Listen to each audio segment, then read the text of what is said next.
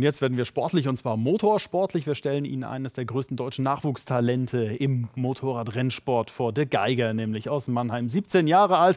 Und der hat Benzin im Blut, beziehungsweise ja, der kriegt auch Kurvenschräglagen hin, bei denen wird anderen wahrscheinlich eher schlecht und schwindlig. Er startet nämlich in dieser Saison zum ersten Mal in der Moto 3, also der Klasse bis 250 Kubikzentimeter. In Katar hatte er sein erstes Rennen. Ich freue mich, dass er heute bei uns ist. 29. sind sie geworden. Ähm, wie war das erste Rennen? Ja, es war ein unglaubliches Erlebnis, da ein Traum für mich wahr geworden ist, dort zu starten.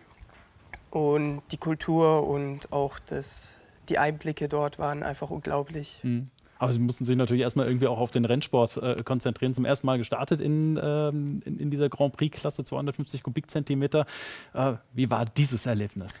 Ja, es war ähm, wie, wie, wie ein Traum eigentlich. Also das, ich habe es gar nicht wahr gehabt, dass es passiert ist. Und ähm, auch mit den anderen Moto3-Fahrern dort zu fahren, war sehr, sehr, sehr, sehr spannend. Ich habe sehr viel gelernt und ähm, habe das dort auch sehr, sehr gut umgesetzt, da ich mich kontinuierlich verbessert habe. Hm, jetzt ist natürlich die Frage, wie geht es weiter mit der Saison? Der Motor, äh, Motorrennsport, der ist auch vom Coronavirus äh, betroffen. Was ist da der aktuelle Stand? Ja, also erstmal an alle Menschen, die, die am Coronavirus ähm, betroffen sind, ähm, erstmal gute Besserung. Und ja, es, bis jetzt ist noch gar nichts sicher. Ähm, mhm.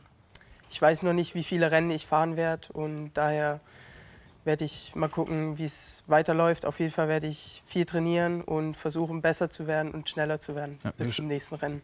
Äh, dass, dass, sie besser und schneller werden. Ich weiß nicht, ob, ob da noch so viel Luft nach oben sein kann. Wir, sehen hier ein paar Bilder von Ihnen auf, ähm, auf der Maschine. Wie sind Sie denn überhaupt zum Motor, äh, Motorrennsport gekommen? Wie, wie kam diese Leidenschaft? Ja, die Leidenschaft kam eigentlich über meinen Vater. Ähm, ich, er hat mich dann sozusagen immer zu allen Rennstrecken mitgenommen und die Rennstrecke war sozusagen mein Zuhause. Mhm.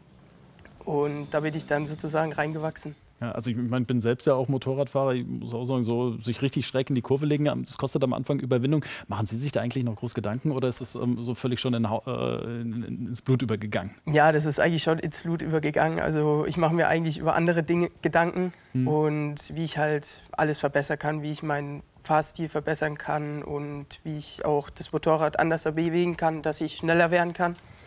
Und da mache ich mich eher mehr über die Dinge Gedanken, als über so Dinge wie jetzt, oh, Schräglage, was passiert jetzt so ja. in der Art. Und noch ganz knackig, worüber machen Sie sich in der Freizeit Gedanken, wenn Sie nicht gerade auf dem Motorrad sitzen? Ja, also nur mit eigentlich Training. Ähm, ich trainiere sehr, sehr viel, versuche ähm, mich immer körperlich ein Stück weiter nach oben zu bringen.